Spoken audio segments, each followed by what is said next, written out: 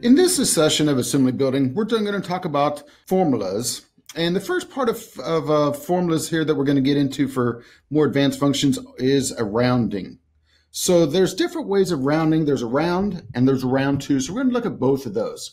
If I go back and look at the assembly that we used in a pre- earlier session, this one here is where we had some basic formulas set up where it would calculate the quantities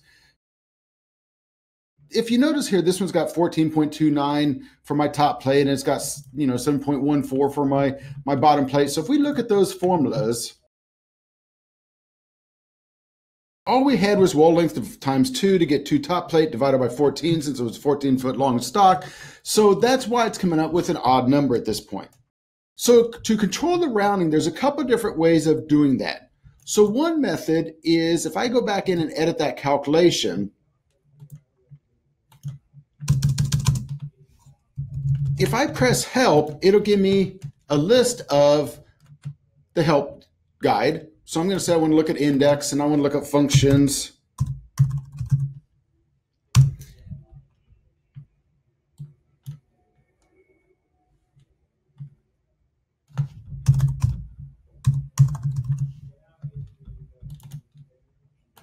And I'm looking for using functions and formulas. So here's all the different functions that's in the system. So there's round, and here's round two. So I'm going to look at round first. So round is exactly like it is in Excel. So I could basically tell it to round, tell it the value I want around, and tell it what decimal place I want to round to. So then they kind of show some examples. So they're basically saying round, and if this was your value, and you're rounding to the multiple uh, or the third decimal place, you know, so that way I might be able to do tenths, hundredths, thousandths for my rounding and so forth, or zero to take something to a whole number, or negative one if I want to go to 10, or negative, you know, two if I wanted to go to the closest hundred, that type of thing. So this is fair, but in a lot of cases, so we're going to build one with round, and then we're also going to turn around and change it to be um, using round two. So if I take a look at those functions again, and look at round two, round two is almost the same thing. Instead of just round, it's round two. You still have the value of what you're rounding, but this one has two other little keys, which is why this is about the only one I usually ever recommend. So this gives you something called a method. So a method is where you can say negative one if you want to go down, zero if you want to go to the closest, one if you want to go up. So this just allows you to control what direction you're rounding. So most estimators were almost always rounding up. So most of the time that method's going to be a one. Multiplier. This is what multiple I want it to round up to. Now their example here is horrible because their example shows it just like the round. So they're saying 0.1 for the closest tenth or 0.01 for a hundredth and so forth. What's ingenious about the round two is that could be 0.25 if I wanted around to the closest uh, maybe quarter yard of concrete, or maybe 0.5 if I want to go to a half yard. Uh, maybe if I knew a stick of rebar was 20 foot long, I could make that value 20 and it automatically 20, 40, 60, 80, 100, that type of thing. So it would uh, round to the closest multiple. Maybe if I've got drywall one of the examples we'll do later is we're going to have drywall round to the closest sheet size. So if someone says it's a four by eight, you know, I might round to the closest multiple of 32, or a four by 10 might round to, you know, closest multiple of 40, that type of logic. So let's go back and actually utilize that then in our formula. So the first one I'm going to use is I'm going to just say round. The value I want to round is between the open parenthesis and the first comma. Now I'm putting extra spaces in here uh, that are not required. It just makes it view easier, I think, with a space so don't get jammed quite as tight together. So then I'm going to go ahead and just say zero for a whole number. So if I go ahead and run that one,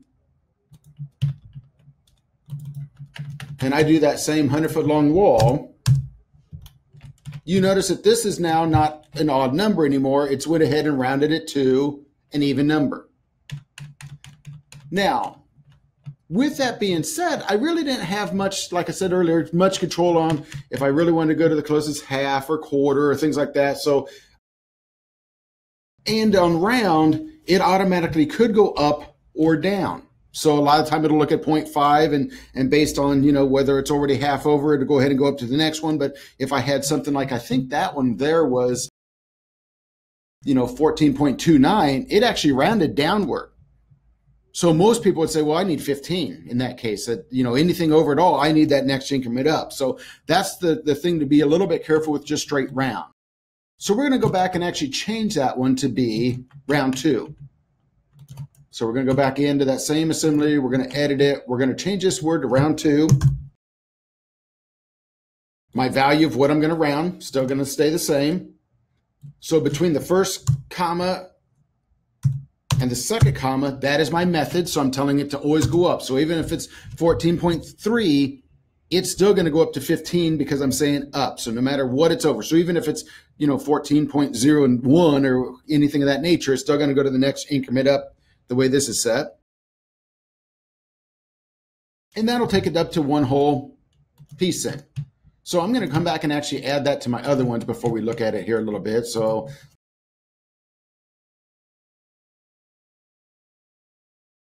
Okay, let's see how that differs different a little bit.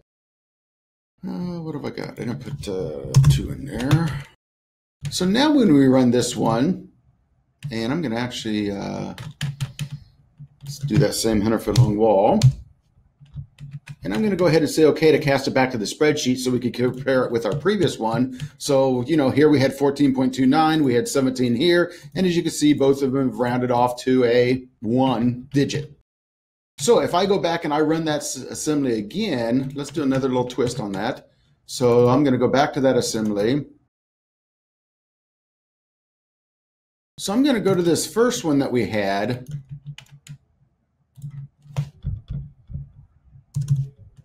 I'm going to replace these with the two for a moment.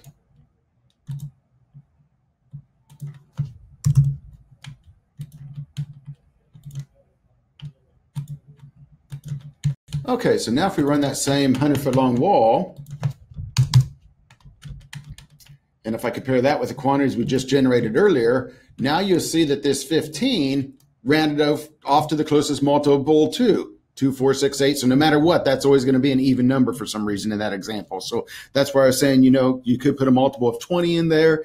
Uh, if you were going to full bar length of rebar or something of that nature, uh, you could write a formula in there, like we're going to do later, where I could put a something in here to tell it, hey, round to the closest multiple of 32, round to the closest multiple of 40, things of that nature. So that's basically a um, nice little tool where you can actually control how rounding works on your numbers.